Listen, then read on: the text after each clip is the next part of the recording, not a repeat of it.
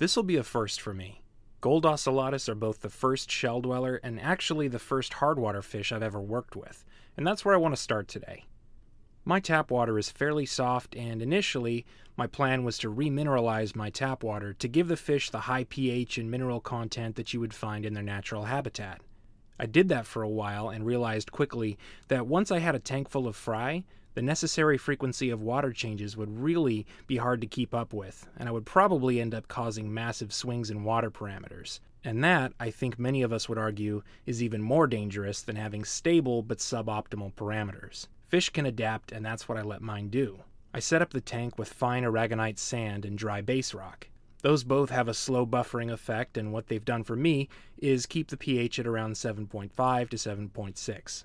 The mineral hardness is still low, but the fish seem to be doing fine. I've tried a range of water temperatures and they seem to be pretty comfortable at 80 degrees, but I've gone as low as 76 or 77. These large pieces of aragonite rock I've found to be very helpful in managing the temperament of the fish. Ocellatus are well known for aggression, so I used the rocks to break up the tank into distinct territories that would give each fish their own space. Now, as their name would imply, these fish like to claim large, empty snail shells as a shelter. They don't hide in them all day, but they do like to stay close to their own shell, and they'll dart inside if they feel threatened. When it comes time to breed, they also use the inside of these shells as a safe place to lay their eggs. These aren't quite the shells they're used to in the wild, but the common hobbyist solution is to give them large escargot shells. After finding a shell on the surface of the sand, shell dwellers will spend hours converting it into a home. First, they excavate sand from under the shell until it sinks down about halfway below the level of the sand, and next they dive face first into the sand nearby and use fin motions to throw loose sand on top of the still exposed portion of the shell. I've been watching this for months, and it seems to me that the shells always end up in this specific orientation. If you feel like helping your fish get set up in a new space, you can do them a favor and dig a shell into the sand just like this, and they'll happily take it from there. In general, you want to have at least one shell per fish, but more never hurts. You might notice that in this tank I have some loose shells sitting up on top of the rocks. Early on, I noticed that if a particular fish was getting bullied by the others, they would end up hiding in an upper corner of the tank. I figured if it's safe up high, let's put some shells there. If I see those shells occupied, it's a good indicator to me that I need to rework the territories a bit or even reduce stocking density. So now let's focus on getting some babies made. With all the pieces in place to make a comfortable tank, they really don't take much convincing. If you get a male and female in the same space and feed them well, they're probably going to spawn for you. I will say though, sexing can be a bit tricky. The most commonly mentioned dimorphisms I'm aware of are fin color and body shape. In a perfect world, you could say males are larger with a longer and more slender body shape. They also have gold outer edges to their dorsal fins, while females have white edges. In practice, it can be really hard to tell, and there's a fair bit of variability in coloration and body shape. My suggestion would be to use those as rough guidelines, but then just to watch the way the fish interact with each other and try to spot spawning behavior when it happens. From what I've seen, breeding is typically initiated by a female. Once she's ready to spawn, she'll try to get the attention of a male and lead him back to her shell. If the male is interested, he'll follow the female back to the shell to fertilize the eggs inside.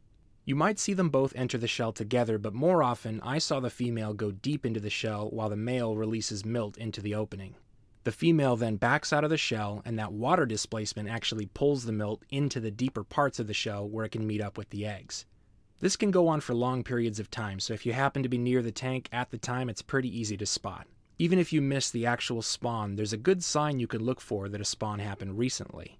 If you or another fish startle a female and then she blocks the entrance to her shell and flaps her tail around like this, there's a good chance she's guarding eggs or recently hatched fry.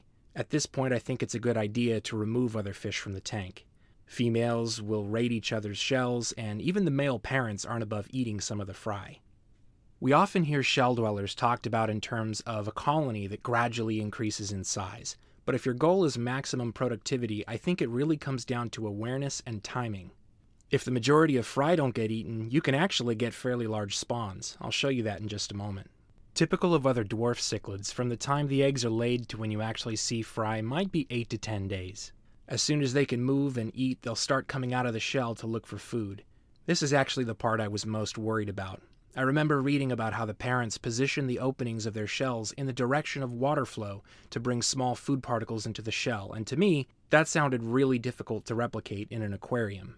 It turns out, though, that feeding the fry is really easy. When they're hungry, they will show themselves. You don't have to guess when to start feeding. They're also large enough after hatching to eat baby brine shrimp right away. So once you see fry, you can just target feed some brine shrimp right on top of the shell. If they end up inside the shell, great. If not, the fry will come out and find them. The first spawn I saw was from a younger, smaller female, and I counted 11 fry, which I was totally happy with at the time. About a week later, though, in another tank, I got a second spawn from a larger female, and that time I got about 50. At first, both the mother and the young fry are easily startled and will dart back into the shell if you surprise them. If you remove all the other fish from the tank, though, and try not to spook them, they'll eventually relax and stay out in the open, even when you get near the tank to feed. From this point, if you just feed them two or three times a day and keep the water clean, there isn't much else to it. You've got yourself some fish.